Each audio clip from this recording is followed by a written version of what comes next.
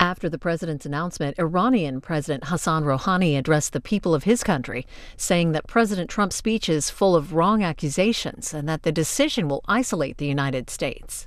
In his closing remarks, President Rouhani mentioned he will stay in the nuclear deal only if it benefits his country. Courtesy of Press TV in Tehran, this is 25 Minutes.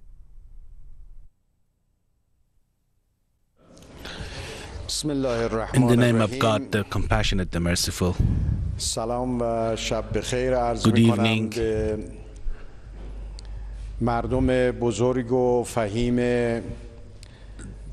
To the Iranian nation, the great Iranian nation, wise nation.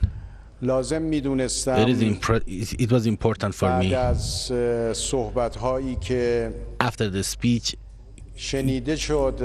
that was heard uh, from the current president of the United States.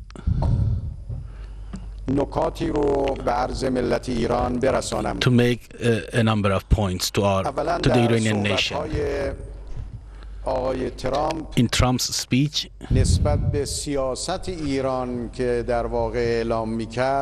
and his, his talks about Iran's uh, policy, policy only bad mouthing and baseless accusations were made against the Iranian nation. He had nothing else to say. I invite the President of the United States to, to better read uh, uh history books and the geography and as well as international commitments as well as respect and ethics uh, international ethics. apparently he is not in the know that the US government uh, that more than 60 years ago helped in a coup to bring back to power a dictatorship in Iran. It's the same power that used money and pressure and agents to topple an elected legal government in Iran. Apparently, he has forgotten that during the resistance uh, during the uprising of the Iranian nation uh, for democracy and Islamic Islamic Republic, the country that did throw most of its support to this dictatorship in Iran was the United States. President Trump has forgotten the fact that after the victory of the Islamic Revolution and in the early days of the revolution, the plot by the United States was another coup. Of course, one more time, they tried in 1981, they tried to repeat it. Apparently, they have forgotten the fact that during the imposed Iraqi war on Iran in the 1980s, it was the United States that backed the invaders. They also forgot the fact that when Iran was being Uh, bombarded by missiles and chem being chemically attacked in Sardasht and Halabja,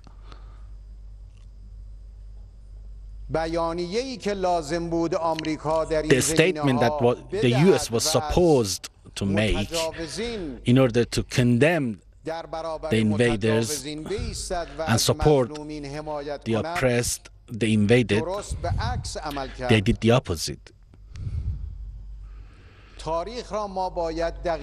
We need to go through the history much more carefully. Over the past six decades or so, what they have done to the Iranian people. Over the past 40 years after the victory of Islamic Revolution, how they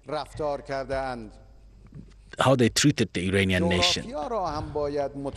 They should also go through geography. How come a, a president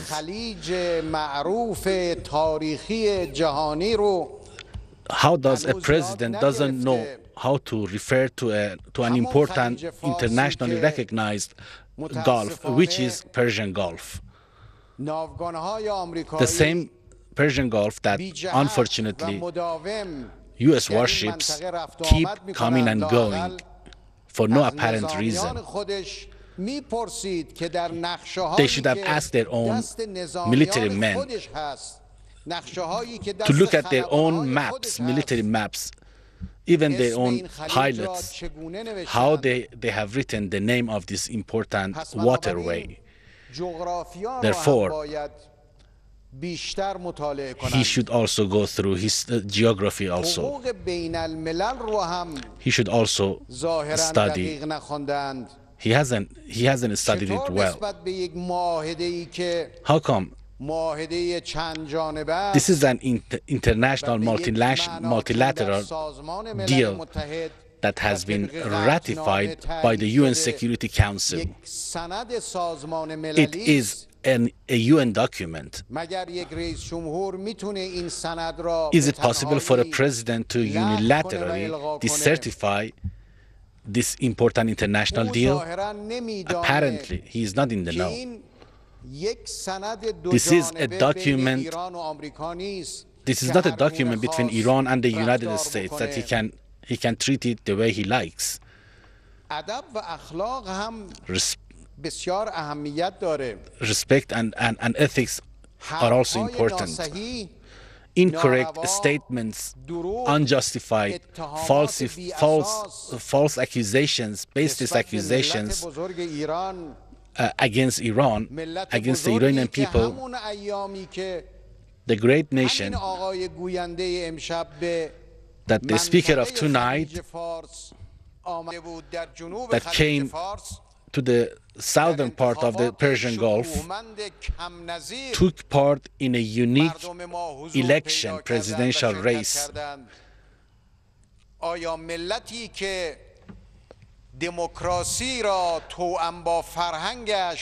a nation that has democracy amalgamated with its uh, civilization and culture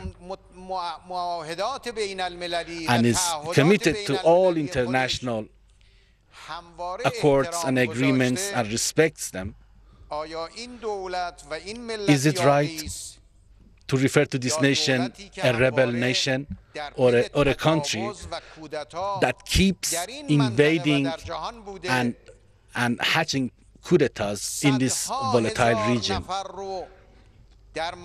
A country that has killed hundreds of thousands of people in different parts of the world, from Vietnam to Latin America to other countries a country that has used bomb, bombs to kill these people.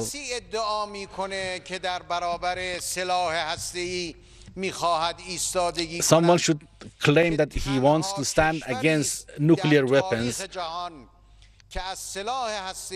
this is someone that tries to stand against the nuclear weapons in a country that has used nuclear weapons not just once but twice against another country. Now, they are trying to threaten they are threatening to nuke another country in that specific part of the world, a country that also is nuclearized and nuclear weapons, that has used nuclear weapons and has close relations with nuclear armed states like the usurper regime of Israel that has helped build nuclear weapons in this in this regime? Is this the same person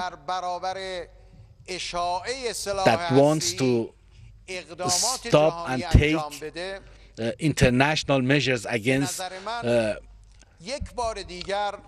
proliferation? Once again, it became clear tonight that the government of the United States is against the people of the region, against the people of Iran and the oppressed nations that wants to continue the status quo and, and the former policies. The Iranian nation is not a nation that, that could easily be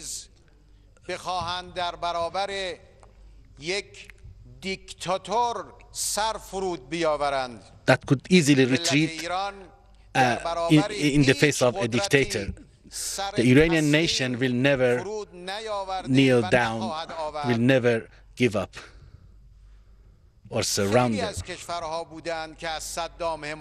Many countries supported the former dictatorship in, in Iraq, but they couldn't defeat the Iranian nation. Many countries that joined the sanctions regime against Iran, in the end, it was proven to them that they cannot uh, defeat Iran, bring it to, to, bring the Iranian nation to their knees. It became clear tonight, much more clear tonight, that more than before, they should remain united, stand together. More than before, they should remain united. The speech tonight showed the JCPOA is much more stronger than what this, this gentleman thought about it during the presidential campaign. Few, several months has, ha, have passed since the presidency of the Donald Trump, but he keeps talking bad about this deal. He wants to add clauses to the JCPOA in cooperation with the Congress. He doesn't know that the JCO that nothing can be added, no, no clauses, no bills can be added, could be added to the JCPOA. The great nation of Iran saw it tonight that once again that America was I took uh, a hostile position against a, an international deal. Once again, the EU also took a firm position against the United States. America is now more than ever isolated when it comes to the JCPOA. It is isolated, much more isolated than ever when it comes to hatching new plots against the Iranian nation. We are making it here absolutely clear. We are going to stand against terrorism in the region and we will continue to, to fight terrorism. The same terrorist groups that this same gentleman last year during his presidential campaign said America, the, the American government was behind the creation of ISIS or Daesh the people of Iran, the people of Iraq, Iran, Yemen, and Syria, and the rest of the region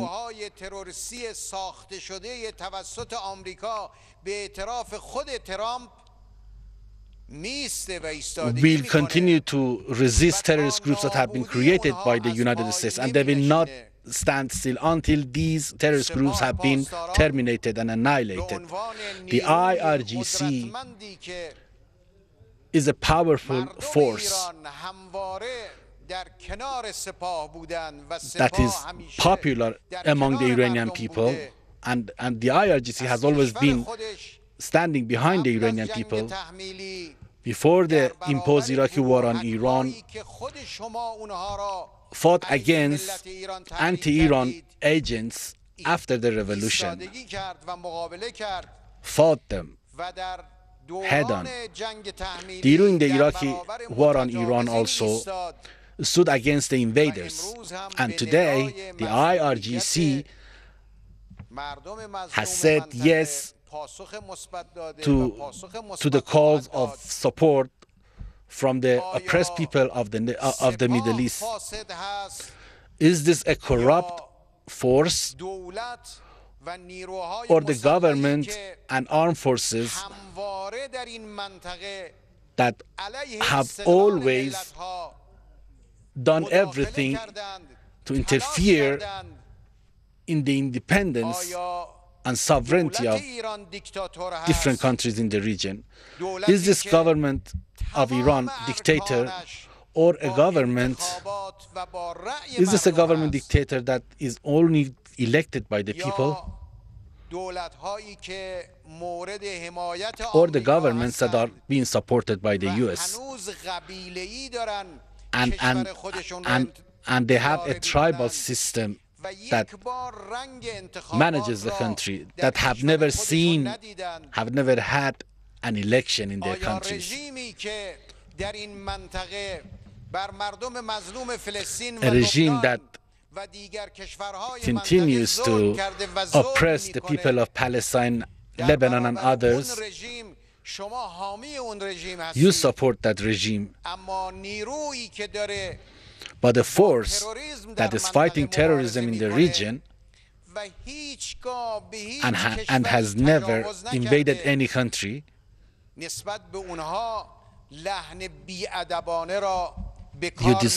you use disrespectful words against this force. You forgot. You forgot that you shot down a passenger Iranian airplane over the Persian Gulf waters and then supported and then gave them medals of honor to these criminals. You forgot that the wars in the region have been created by you. You forgot how you treated the people of Afghanistan, Iraq, and Syria and others. You talk about Iran's missile program and you say you are concerned. How come the arms that you give to the invaders in the region and use your warplanes and bombs to target the oppressed people of Yemen. With regard to those weapons and invasions, you are not protesting. You targeted Iran's oil rigs in the Persian Gulf. You invaded this region continuously. Our arms, our missile programs, our missiles are for defense. We have always been determined to defend ourselves. Now, today, we are going to be much more determined to defend ourselves. We will continue to produce the arms that we need and we will double that effort from to, to today to build those weapons. Our weapons are for deterrence and defense, and we'll continue to strengthen our defense capabilities. And my last words. With regard to the JCPOA, we see this an international deal a multilateral deal. As long as our rights are served, as long as our our interests are secured if we continue to benefit from the from this deal within the framework of our within the frame, frame, framework of national interests, we will continue to stick to the deal. We will continue to cooperate with the IAEA within the framework of international law and the UN nuclear agency. However, if one day our interests are not met or other sides refuse to abide by their commitments, they should know. Iran will not hesitate, will give them a fitting response. What we heard from the American officials tonight were a repeat of incorrect rhetoric, baseless allegations, uh, and bad mouthing that we have heard over the past 40 years or so. Nothing new we heard tonight. We were not surprised. It is for it's been 40 years that we have been used to hearing these words from you. We were not surprised. We didn't expect anything else from you. And we will not have expect anything else from you from now on. Keep in mind that with, you, with your incorrect words, you just made us more united than ever. You cannot create discord among, between the government and the people, or between the people and the popular leadership of this country. You cannot create, you cannot sow discord. Our revolution is based was based, religion is not separated from, uh, from politics. And, and it is the leadership or supreme leader who is overseeing this connection, this link, based on the Sharia law and the constitution. Whatever orders our leader gives us, the people are directed to Iran and the people of Iran are united. All political groups and factions, all political parties, all ethnic groups, they are all united when it comes to standing against the enemies of Iran and you. You are not happy with the slogans made by the Iranian nation, then stop your hostile attitude toward Iran. We do respect the people of America, even today.